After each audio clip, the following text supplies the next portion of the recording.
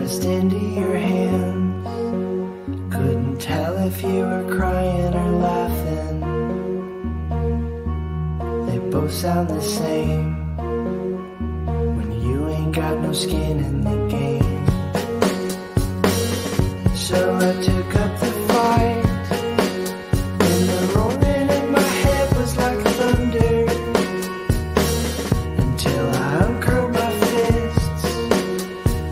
Not myself.